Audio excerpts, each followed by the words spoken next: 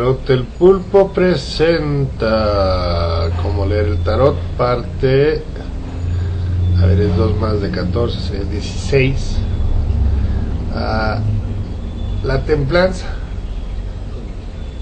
Temperance en, en inglés. Buenos días, estimados amigos y amigas. Lo primero que voy a hacer, porque lo prometido es prometido, es. ah, mostrar a mi amiguita de Texas ah, que me pidió que le dijera cómo barajeo las cartas, cómo lo hago. Entonces, voy a agarrar mi baraja. Voy a dejar esta carta por fuera porque, porque, pues sí.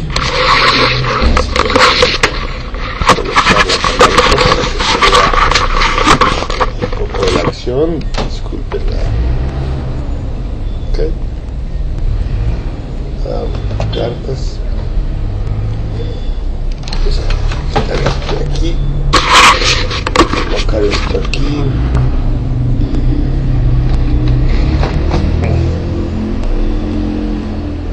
Agarro las cartas en dos dos montoncitos a ver si puedo a ver dos montoncitos más o menos de este tamaño. Coloco coloco la carta así sobre la mesa más o menos a ver. Así más o menos sobre la mesa. Y luego la otra aquí.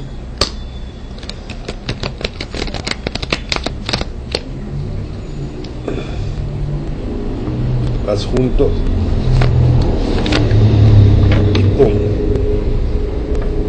ahí está Hago un par de veces. Y pum. Y ahí está. Una vez más. Pum ahí está. Luego am, las pongo así enfrente del cliente. Estimado cliente, les gustaría por favor partir las cartas. Cliente la puede partir en uno, dos o tres botoncitos. Las recojo y las coloco. Voy a es el procedimiento completo y básico. Voy a tener que agarrar a un amigo mío para que filme el proceso de cómo las coloco y todo eso y eso es para el próximo video porque estoy solito y quiero terminar la templanza para seguir con el diablo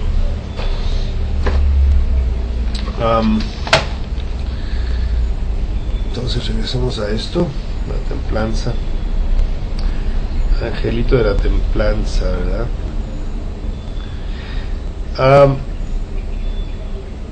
cuando empecé mi, mi carrera como tarotista, me traté de fijar en los significados de las cartas basados en los resultados que tuve con ellas.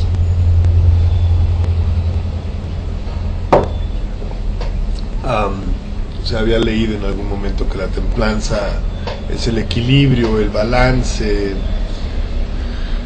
en los libros de tarot, en los significados de los libros de tarot. Y dije, ah, bueno, el equilibrio, el balance, ¿no?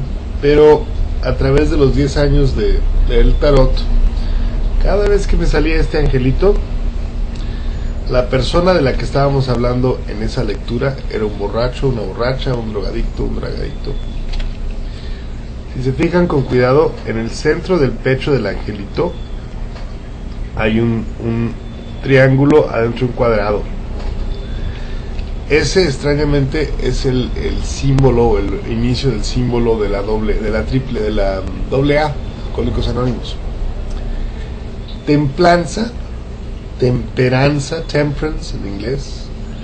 Si vemos el significado en el diccionario, tiene que ver con equilibrio y balance. Ah, es más, vamos a agarrar un diccionario a ver qué dice sobre la palabra templanza, ¿no? Porque es una palabra interesante.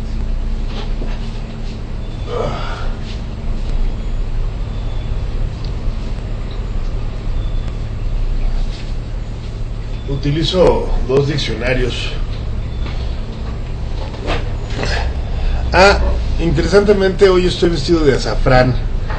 Eh, un detalle sobre el azafrán o, el, color que traigo hoy vestido, de puesto es el color que utilizan los monjes hinduistas para denominar la pureza, es otra forma de la templanza. A ver, la palabra en inglés es temperance. Si vamos al Larousse inglés español y buscamos temperance, um,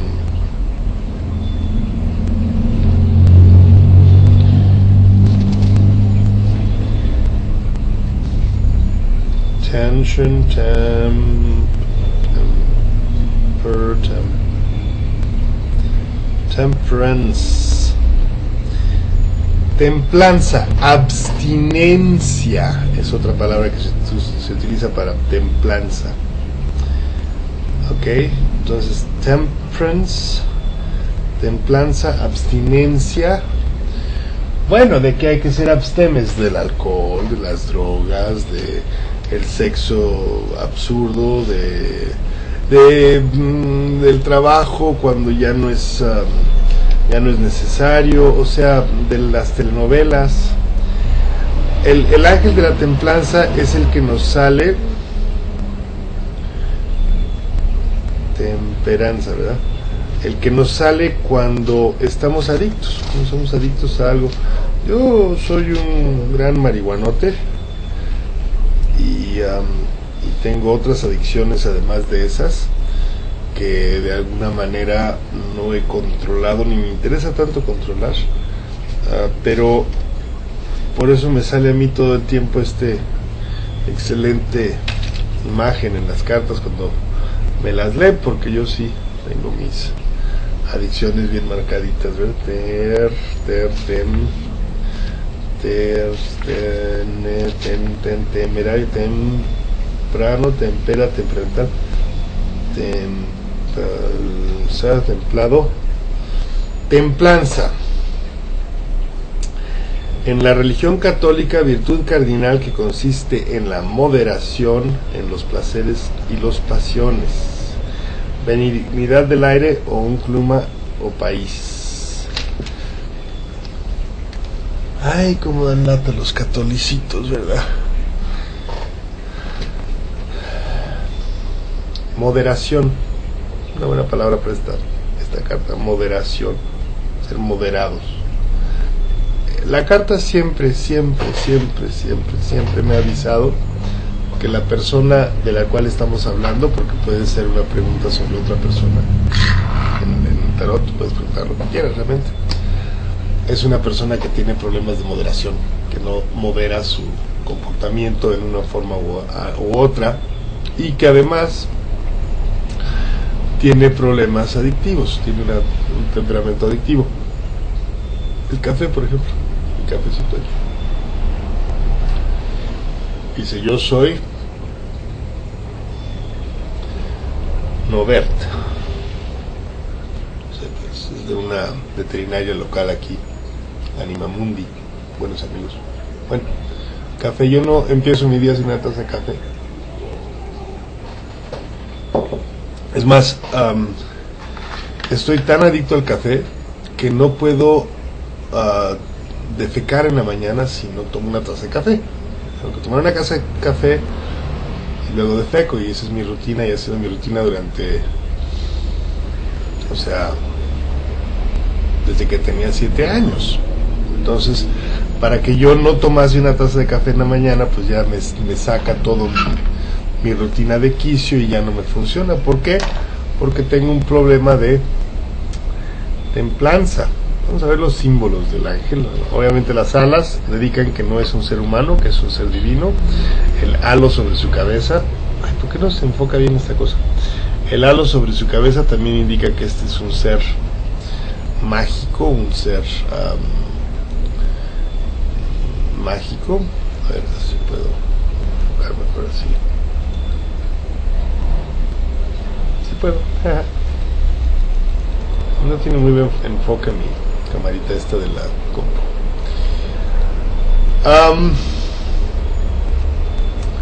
Las dos tazas donde está virtiendo el agua de la vida, esas son tazas donde vierte uno la sangre o también el tiempo de la vida. El agua representa las multitudes también en la Biblia. Está midiendo el agua, está midiendo el, el agua. Vemos que el sol, aquí atrás, está apenas saliendo o descendiendo. No sabemos cuál, realmente no, no sabemos muy bien cuál. Viéndola bien, ni siquiera parece el sol, parece más bien una nave espacial, pero habría que preguntarle eso a nuestra amiga Ryder White, a nuestros amigos Ryder y White. Uh, hay un sendero que va hacia el sol ahí. El ángel tiene un pie en la tierra y un pie en el agua, eso es, también es de la Biblia. Hay lirios de, de, de, río, sabemos que es un río, el, el, agua que está bajo sus pies es un río, algo que fluye hacia qué, hacia el mar, ¿verdad? Uh, el color blanco de su túnica indica la pureza Uh, su sexo es aparentemente masculino porque no tiene tetitas, pero indeterminado porque es un ángel, ¿verdad? Más bien neutro, pero no neutro, es más bien neutro masculino, que es una cosa muy católica. Enucos.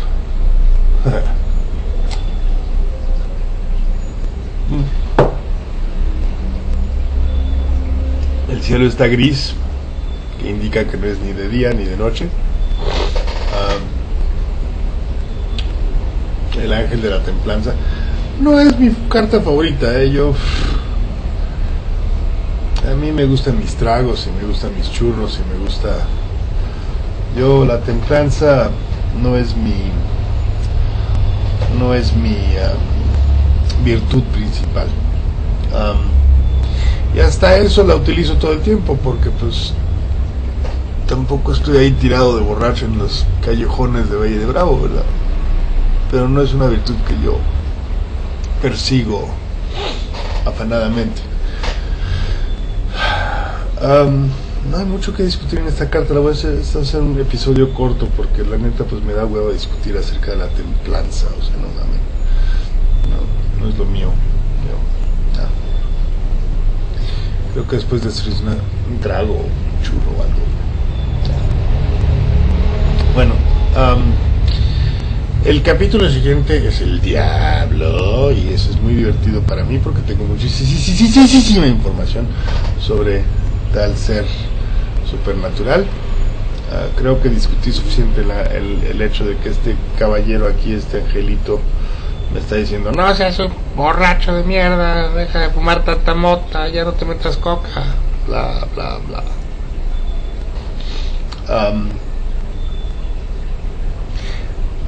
Nada más les voy a añadir un detallito de esta carta, porque pues, después de todo es una clase de tarot y hay que ser honestos y correctos. ah, una cosa más.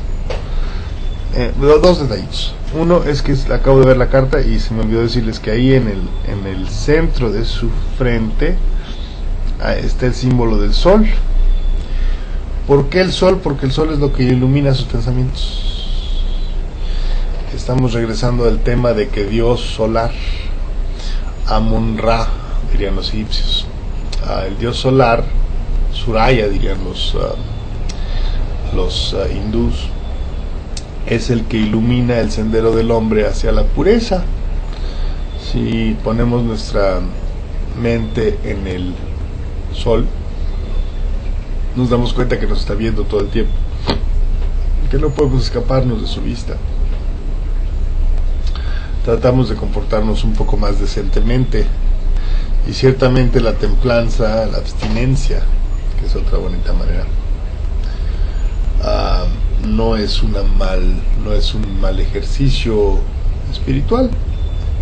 Purificar el cuerpo no tiene nada de malo, no, no es divertido, pero no tiene absolutamente nada de malo. ¿Les gusta mi sombrero de, de? Lo utilizo en festivales medievales. El símbolo de este sombrero es en los cuatro puntos.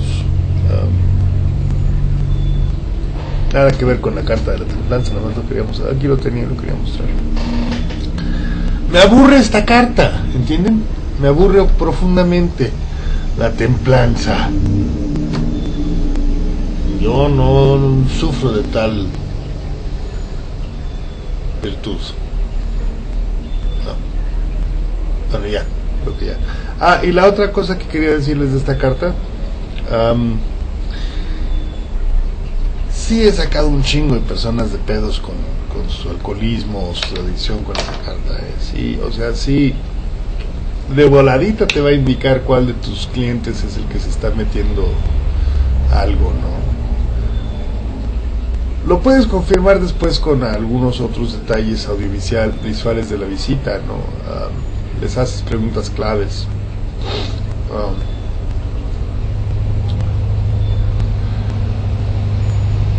pero sí, cuando los enfrentas con sus adicciones y les muestras que los está destruyendo la adicción,